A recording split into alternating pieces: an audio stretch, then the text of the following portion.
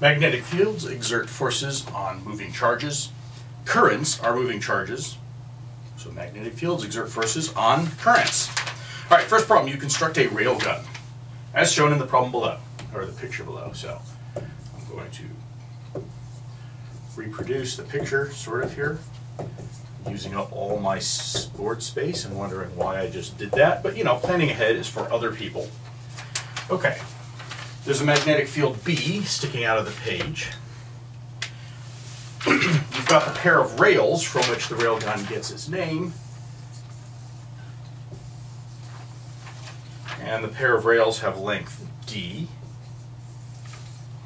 And then you have the slug, which is length L. So the magnetic field here is D by L. And then you have the rest of the circuit that the thing is connected to. So at the end of the rails, you have out here a current source. That's what that little arrow in a circle implies, a current source. Okay, good. So what this means is there's a current source here. There'll be a current flowing. Now it won't flow out here because there's an open circuit, not a connect closed circuit, but it will flow, and most importantly, along the slug, it will flow in that direction. I'm having real trouble getting this to stay on my desk. So it'll flow in that direction. Great. And so then what's going to happen is because there's a current moving, that means, well, effectively there's positive charges moving this way. Really, we know it's electrons moving that way. We'll just think about the positive charges. So I, L cross B, so this is the magnetic force on a length of current, is I, L vector cross B vector. And L vector is the length of the thing and the direction is the direction of the current. That's how you know it's this way and not that way. So IL cross B, so you know there's going to be a force this way. Now it's actually not a force on the bar. If you microscopically look at what's going on, really it's a force, uh, well, so the electrons are that way, um, but then the current, well, it's the direction of the current, that's fine. It's a force on the electrons. The electrons will be pushed to this edge. What it, the magnetic field is really trying to do is make the electrons go around in circles like this. But the ones in here, so everyone that's in here going this way gets pushed up and to the right, tries to go around the circle, gets the edge here, can't leave the bar, and so the whole bar gets dragged along by the electrons trying to be pulled along here. So that's great. So the force is going to be that way. What is the magnitude of the force? Well, that's actually pretty easy here. The magnitude of the force, well, it's just ILB. It works here because IL vector is perpendicular to VB vector. So that's the magnitude of the force. That's great. And the question is, how fast is the slug going when it merges at the far side of the railgun? So we assume it starts at rest here. That's the force that way. So let's define x and y as that. If it starts at rest, it's going to have to go distance d.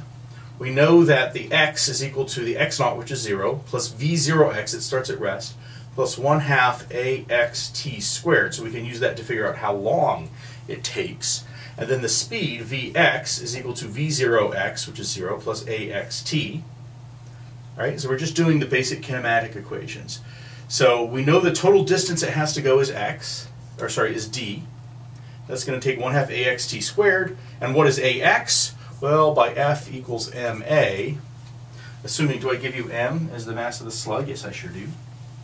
By F equals ma, ax is just going to be F over m, because the force is all in the plus x direction here. So this is going to be ax is F over m, F is ILB, so it's going to be ILB over 2mt squared is equal to d. Well, okay, really what we want is Vx, but we don't know t, we do know Ax, so Vx is equal to ILB over m times t. So I just have to get rid of this t here. So I'll use this to get rid of t. I'll solve for t. t squared is equal to 2md over ILB. Take a square root of both sides. That's what t is. So I get ILB over m times the square root of 2 md over ILB. Or if you simplify, so I could pull this inside the square root by making it i squared l squared b squared. So inside the square root, I will actually have an ILB on the top, as the squared cancels that. I will have an M on the bottom. I'll have a 2 on the top. I'll also have a D on the top. And I'll have an M on the bottom, as this would be M squared and times the square root and cancel one of those. So this is the speed we expect the thing to be going when it reaches the end. Now, let's make sure the units work. So the units I have, I comes in units of coulombs per second, that's amps. L comes in units of meters. B, hmm, that one's harder. Remember, that comes in newton seconds per coulomb meter. But then also remember, a newton is a kilogram meter per second squared. So this meter will get canceled with this and the seconds over second squared becomes that. So that's the Tesla. Then we have a meter for D, and then in the denominator we have a kilogram. And if we cancel out what's left, kilograms cancel kilograms, coulombs cancel coulombs, we have meters squared per second squared, and it's under a square root, so we'll have the right unit. So good, at least the units work on this. I haven't proven that I'm right, I've just failed to prove that I was wrong. If the units didn't work, it would have meant there was a mistake in there somewhere. All right, so that's how fast it is. And then I actually give you some numbers at the end. So if B is one Tesla, I'm gonna write them up here. So one Tesla is a pretty big magnetic field, so big stubbly speakers have them. Uh, the slug has a mass of 20 grams, which is really heavy for a bullet if you're thinking about making a handheld railgun to use against your neighbors or whatever you do with them. The barrel of the gun is half a meter long, so that says D equals 0.50 meters and two centimeters wide, so you know that's a little railgun there. So L equals 0.0020 meters. And you want the slug to be moving at a speed of Vx equals 1,000 meters per second when all is said and done. What current must you run through the circuit? Well, actually, okay, so here's what the speed is. I really want to solve this for the current, so I'm going to square both sides to get back. So I'll get Vx squared is equal to 2ILBD over M. Solve this for the current, so I multiply both sides by M. I get MVX squared. Divide both sides by 2LBD. And that will give me the current I need. So now I'm done with this, I'm going to erase this stuff. And I'm going to put these numbers in and we'll see what we get. So M is 0.020, so heavy bullet, the muzzle velocity we want, or muzzle speed really, is 1,000 meters per second. That's like three times the speed of sound. That's fast, right? whole point of a rail to gun is to have things go fast. At least so I assume from video games. If video games have taught me anything, it's that railguns make things go fast. Because nothing in video games is ever unrealistic. Divided by 0.5 meters for L, divided by 1 Tesla, and remember a Tesla is a, we just did this, a coulomb our kilogram per coulomb second is the same as Tesla. That's B, and then divided by D, which is 0.002 meters. So if I look at units, kilogram cancels kilogram. Um, uh, uh, uh, meters cancels meters. I have a leftover meters. I'm very distressed by that. No, because I forgot to square this. So the two meters, right? I have to square them 1,000. So the meter squared cancels meters and meters. Um, I'm left with coulombs in the denominator of the denominator, so that's going to be coulombs in the numerator. I have a 1 over second squared divided by 1 over seconds. That's going to be coulombs per second. So good, the units are current units. So I just stick these numbers in my calculator. Ready for this? Are you ready for this? 10 to the 7th.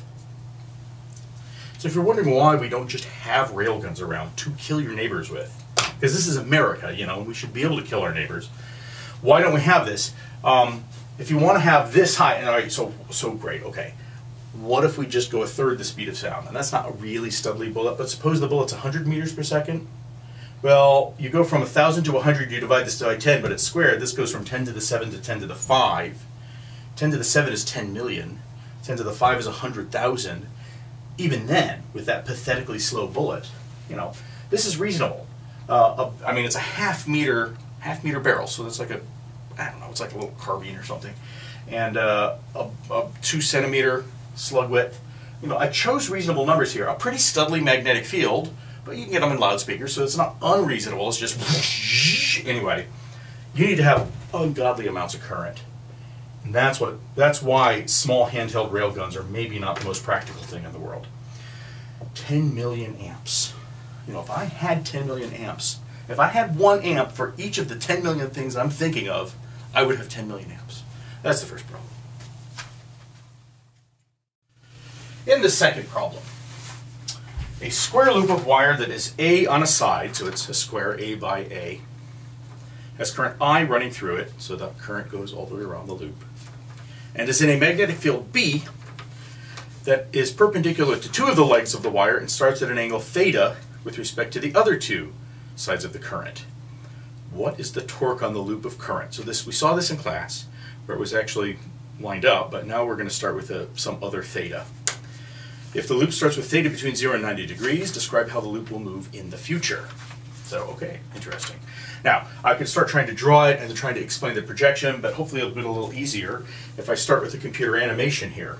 So what we've got is all the brown arrows here represent the magnetic field everywhere in space. You see the x, y, and z axes, so the x is sort of out of the page, but we're full 3D here.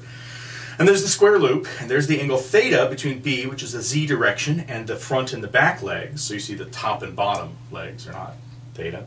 Okay, magnetic field B is up, sorry, across the current, QV or IL, across B, and there's the force on this front leg is that direction.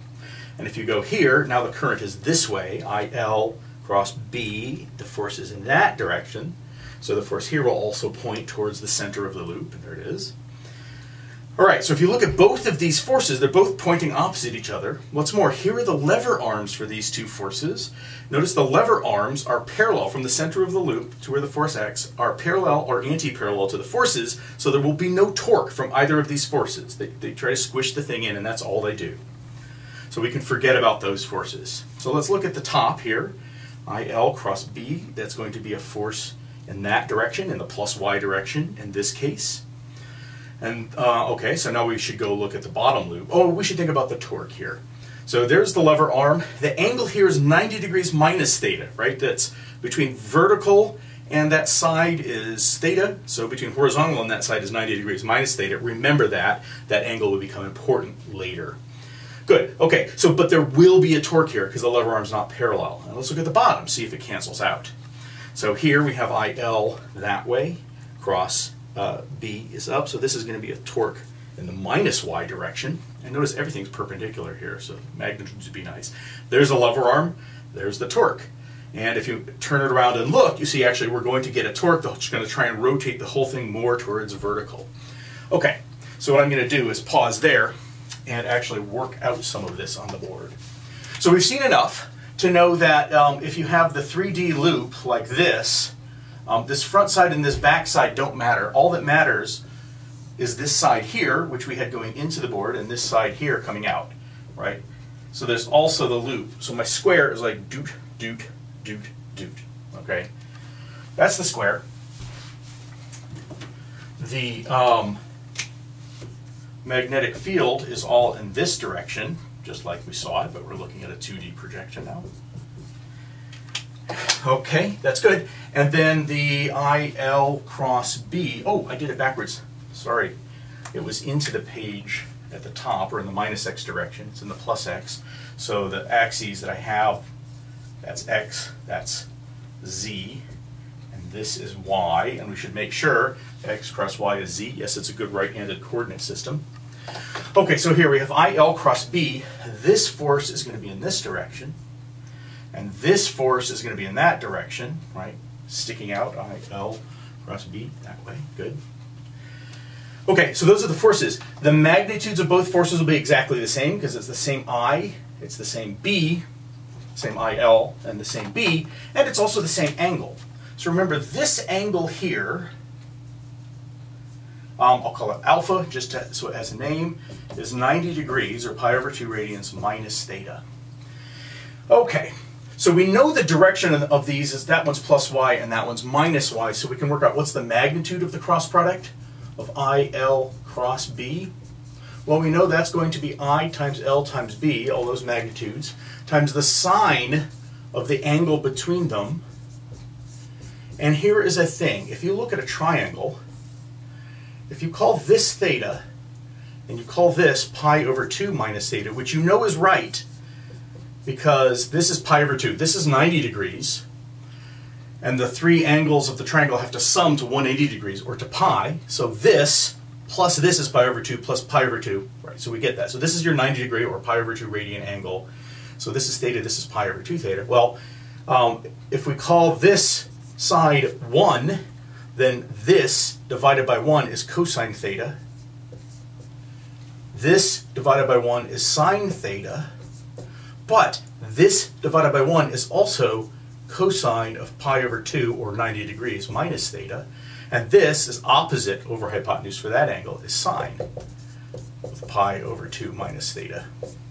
So the, the whole reason I did all of that is just how do I figure this out? Well, I could just left it like that, but I'm going to turn it into ILB cosine theta because that's a little bit simpler. Okay, and then what is, well, that's the force, right? And both of these forces will have the same magnitude. What we really care about is the torque. Now you can see just looking at this that both these torques are going to try and spin it that way. So let's write down our lever arms um, in blue. So we're doing torques about the center of the loop of current. Right, so that's your lever arm. Its length is A over 2, right, because this current loop is A by A. And this lever arm is A over 2. Uh, that's good. This L here, I should have said, is just A, because that's the length of the whole wire, is A, right?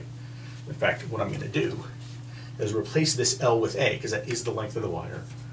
And we're good. Now for the torque, um, the torque for each one of these is equal to the lever arm R cross F. So that is going to, well, that's that radius. All right, so again, let's just I mean, I could do this by writing it in terms of components with x hats and y hats and stuff, but let's do the magnitudes. R cross F, that's into the board. Here we have, stand like this, R cross F, that's into the board. They're both into the board.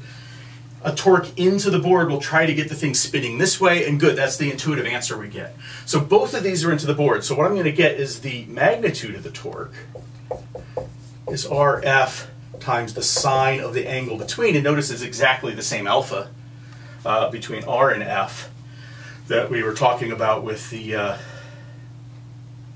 Okay, I have made an error. Of course, all this all this argument I just made here, all that argument was for the lever arm and the force because that's the one that has the angle um, pi over 2 minus theta between them. The magnetic field and the, the magnetic field that way in the z direction and the current in the x direction in both cases are actually perpendicular. So the magnitude is just that. We didn't have to have an angle on it. All right, so now let's go ahead and put these in. That's A over 2 is what the length of R is. The force is IAB times cosine theta. That's the torque from one of these. And the, so the net torque on this is going to equal, um, there's two of them. So we'll have A over 2 plus A over 2. It's going to be I a times a, a squared b cosine theta. Okay, so that's kind of interesting. Now, uh, so now we know what the magnitude of the torque is. Now there's a thing I want to point out, and that is if you remember the unit circle, right, so you have the unit circle, which is a circle of radius 1. If that angle is theta, then sine theta is equal to y and cosine theta is equal to x. Or if this is a circle of radius r, it could be y over r and x over r, and then it's just a circle. But that also works for pretty much any angle, right? So I could draw this angle here, and we'll call that phi, right? And sine phi, let's call this y2 and x2 is equal to um, x2 over r, sine, oh, sorry, that's cosine. Phi is x2 over r, and sine phi is y2 over r. In this case, you can just see it, right? Because x is adjacent. Adjacent over hypotenuse is x over r, so that's cosine. Here it's less obvious that, um, and sorry, phi is that whole angle, right? It's less obvious that this whole angle, because we don't have a triangle anymore, but with the unit circle it still does work. Well, okay, so looking at this, one thing that this tells us is that theta, that this whole thing will be greater than zero if um, minus 90 degrees is less than theta is less than 90 degrees. And, right, so that's what happens. That's when x is positive. And it'll be less than 0 if theta is greater than 90 degrees, um, but then uh, less than 270 degrees. So that's what happens over here and here when x is negative. Okay, so keep that in mind, and now what we're going to do, so we're going to look at this and make sure this math still works. And now what we're going to do is we're going to go back to the movie, and uh, back to the 3D animation, and so that you can see it, I'm going to erase all this stuff over here, because that's what it's going to be in front of mostly.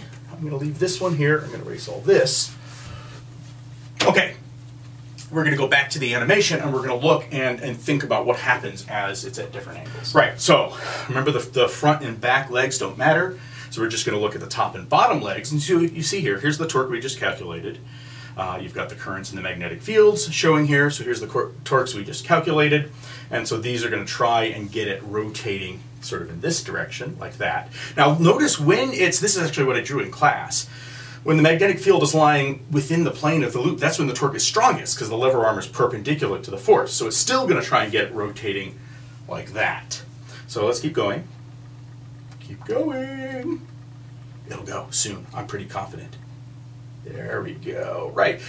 And in fact, all the way down, the force keeps eh, trying to make it torque faster and faster and faster and faster until it gets horizontal. And now look, you see that the two forces on the edge are just trying to pull the thing apart it is no longer um, it's it's no longer a torque because the lever arm is parallel to the force. So you have zero torque here. Well, that's kind of interesting. This is also a theta of minus 90. So the torque has been positive. If we go a bigger theta, that's theta more negative than minus 90, now notice that the torque is in the opposite direction. And all the way along, we're going to keep rotating this thing, all the way along, it's trying to get it to spin back the other way.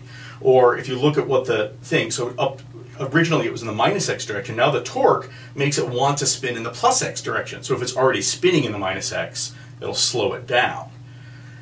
So you see once the loop is turned over, and now it's turned over because notice that the current is coming, uh, is coming out on the right and going in on the left. Now that it has turned over, well I guess that's what it was before, but now that it's turned all the way over and it's bent a little bit down from horizontal, it wants to go the other way. So I'm going to bring it back to where we started, and let's just think about what happens. As the thing goes forward, there's going to be a positive torque. So let's just suppose it starts at this theta, whatever this theta is. It's something between 0 and 90 as specified. So it starts at this angle, and there is a torque in that minus x direction that's going to get it to start spinning. So it will. It'll start spinning any moment here. Uh, uh, spin, please. Spin. Spin, I am telling you to spin. Spin, Thank you. Right, and see, here's what happens. So for the first spin from here to here, it's accelerating forward. But once it passes through the flat, now it's spinning in the minus x direction, right, like that, but the torque is in the plus x, so it pulls it back, and the whole thing just oscillates back and forth after that, which is what will happen if there's no friction at all. Which might lead you to wonder, well, how does an electric motor work and keep things spinning in one direction at all? It's like, hmm, maybe we need an AC current, aha. Anyway, this is what you get in this problem.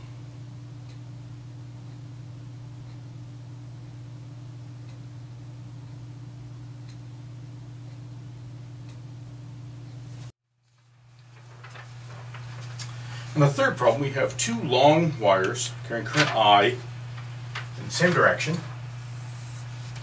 So there's an I, there's an I, and they are a distance d apart. What is the force per length on one of the two wires? Well, all right, force per length. Okay, not that hard a concept, but maybe a little weird.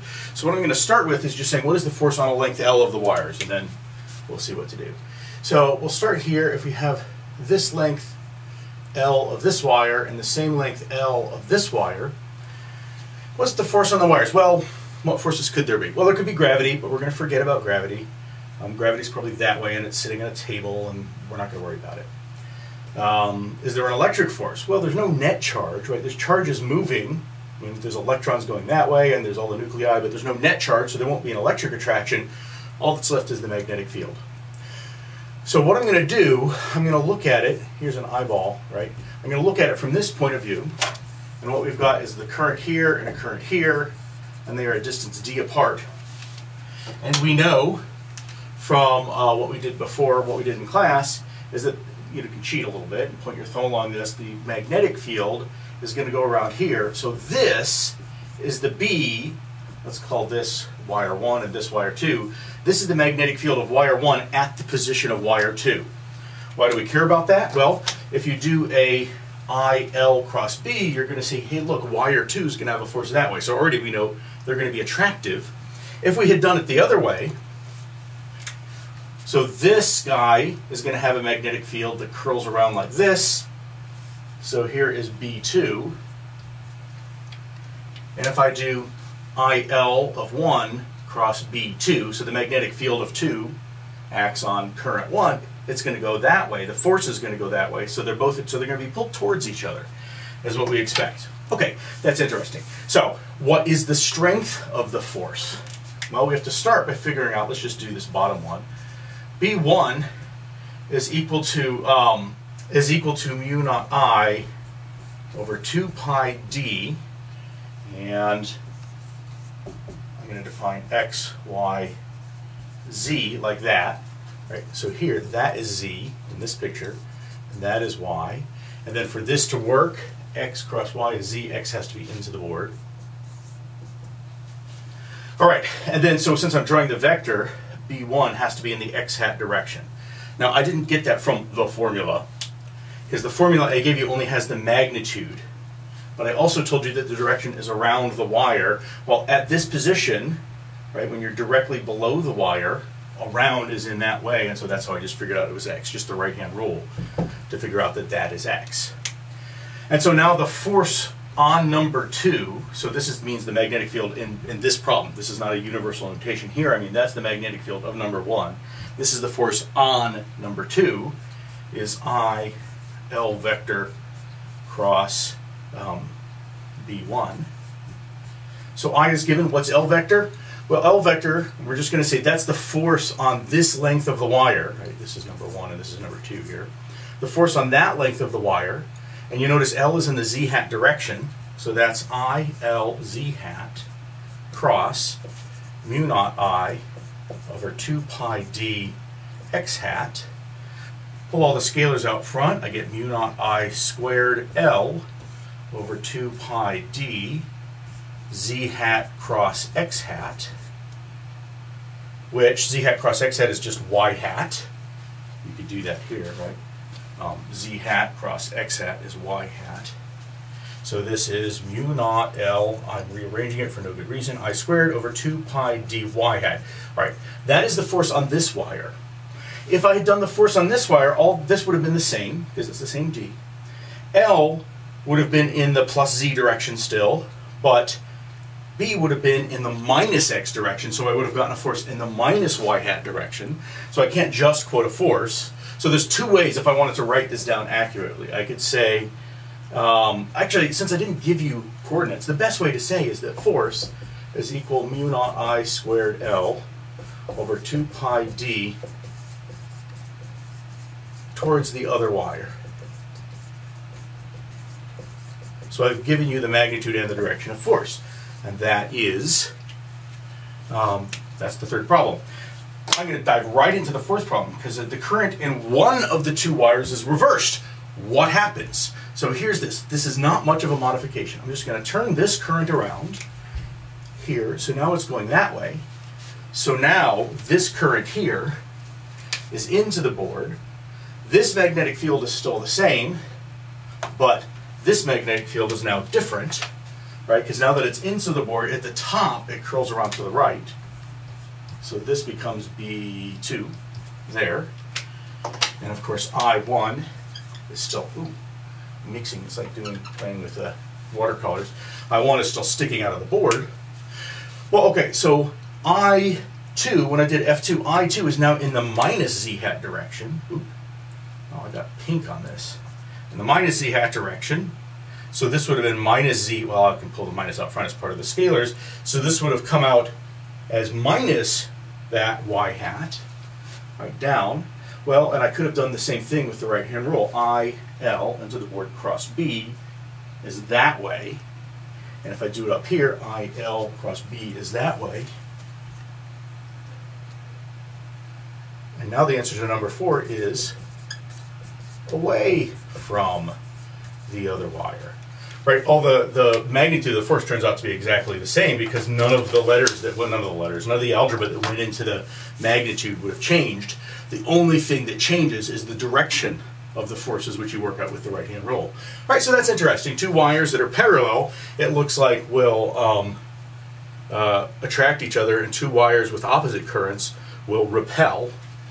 Don't memorize that. Be able to figure it out because I might ask you slightly trickier questions. All right, that's it for this week.